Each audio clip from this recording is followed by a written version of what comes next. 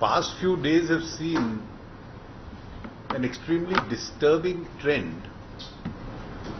where uh, some people have been resorting to vandalism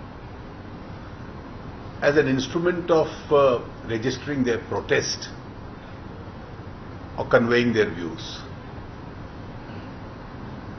It's quite possible that in a large country like India there may be divergent views on many subjects.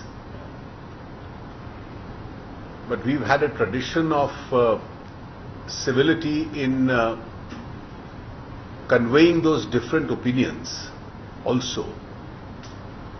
Particularly because some of these issues are extremely serious. Some issues can reflect on uh, inter-community relations. Others can uh, reflect on sensitive areas such as Jammu and Kashmir.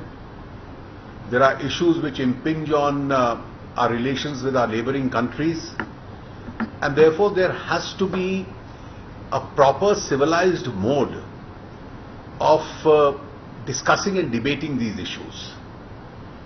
I have no difficulty if people uh, convey contrarian views because that's the essence of uh, democracy and debate.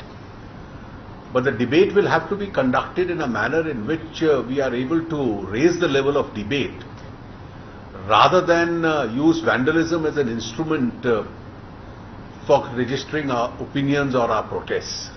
I feel that it's extremely important that people indulging in this uh, are strongly criticized.